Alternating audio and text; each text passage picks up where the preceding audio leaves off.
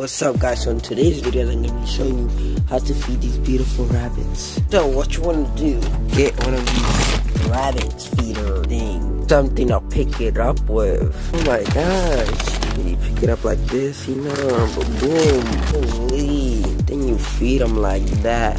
What? No way. No way.